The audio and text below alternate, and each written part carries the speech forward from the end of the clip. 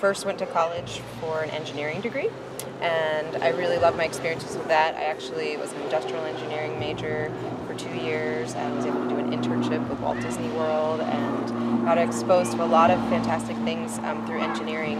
Um, but some of my interests lied more in kind of like leadership and working with people more. So I switched to um, industrial psychology. I went to um, Penn State University, and it's a large school with a lot of different you know, major options.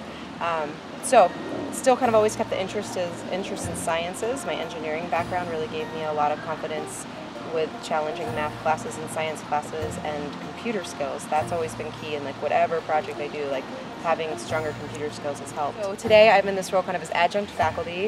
Um, I also um, helped found and start the um, LC Learning Garden um, and get a sustainability club started. And I just find that like all my different experiences in the STEM fields assist with these projects in some way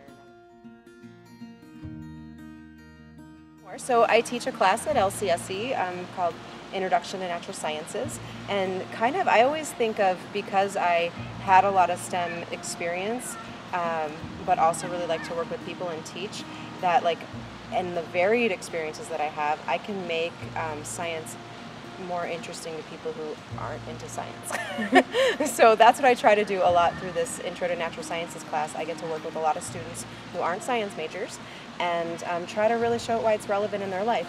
Particularly sustainability then, that topic you get to think about how do we all use energy, how do we all use water, how do we um, access food in our lives and that is something we all have experience with in some way or another. So if we cover those topics in my science classes, it really hits home and people get more connected to it.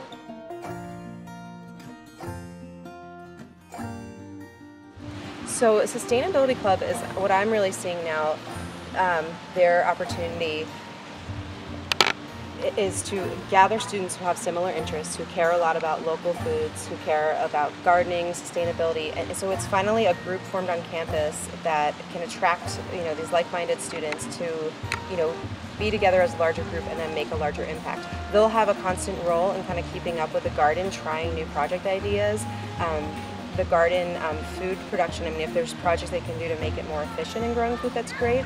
They want to do larger projects like building solar greenhouses or, you know, just things that would enhance that space or use other areas of campus um, that would then, you know, eventually support food growth, that would be an opportunity they have with the club um, to do that and, and get these experiences too where it's like, it's low risk. When you're a college student in a club, you might make a big impact with your project, but you know, you're trying it out, you're learning. It's the time for you to do that. So maybe you learn all these skills and then you apply it in a future job, but you wouldn't have necessarily had that opportunity in your class or in the classroom. Yeah.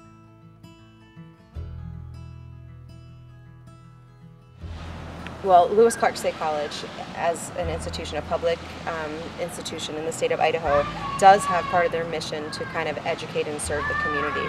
So they have this opportunity um, not only to grow some things that will serve local residents, but to demonstrate to the community, look, you can grow in this way. You know, here are some efficient ways, here are some techniques. So we're to try to put a lot more information out there of like, this is how you can do square foot gardening, a really efficient type of gardening, or um, this is how you can use water um, um, in a more conservation-minded way, or these are the type of things that grow here really well. you know, and then we have opportunity to put out um, information of uh, have you used QR codes with your phone, like scanning those little oh, yeah. block QR codes? So we're thinking of having those all over the garden. So it becomes this like kind of place that people can come and interact with the environment and learn. Um, and Backyard Harvest does want to educate and you know can help people empower them to be able to get access to fresh, healthy food.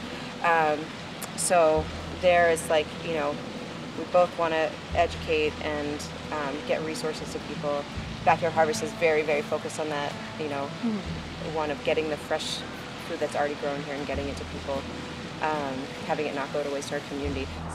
So welcome, this is the um, Montessori, um, Children's House Montessori School natural playscape area.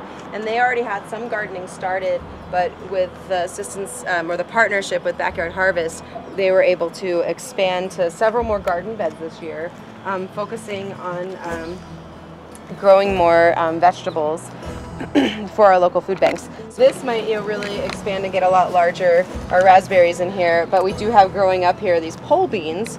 They'll climb up like seven, eight, nine feet, so they're going to be getting close to um, being able to be harvested soon. See, here's, oh my goodness, there's one, that's the biggest one I've seen so far.